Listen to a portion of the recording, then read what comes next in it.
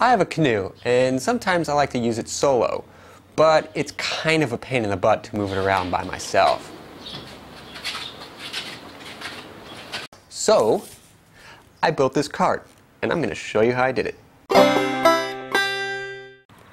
I found other designs online for canoe kayak carts, but they didn't quite fit my needs. I came up with this design that allows you to carry a canoe or kayak right side up. But it also has these extra wings on the side which will allow you to carry a kayak upside down.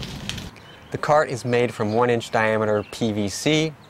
These top supports are 14 inches long.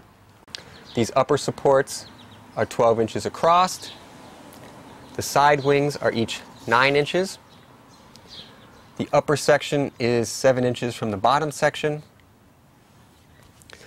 The handle is just the portion of PVC left over from the 10 foot section I bought. It's about 14 inches. The axle is a 5 8 inch threaded rod that goes through an end cap with a 5 8 inch hole drilled in it.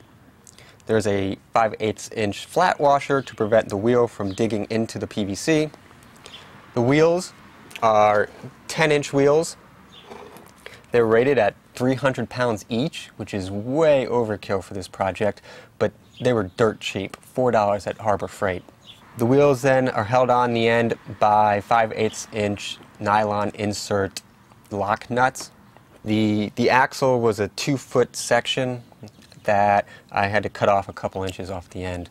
The foam on the supports is just PVC pipe insulation.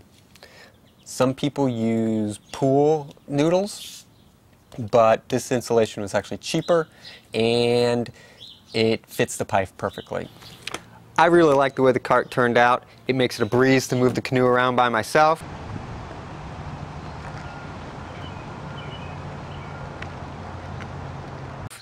It also makes it super easy to load the canoe on top of the car.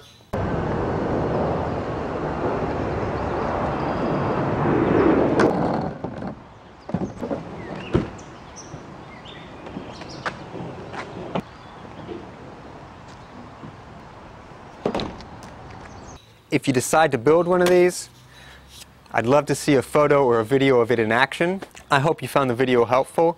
If you did, give it a thumbs up. You can also subscribe to keep up to date with my newest videos. Thanks for watching.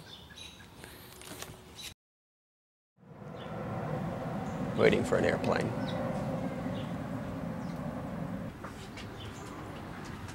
Tatus, no. No, no.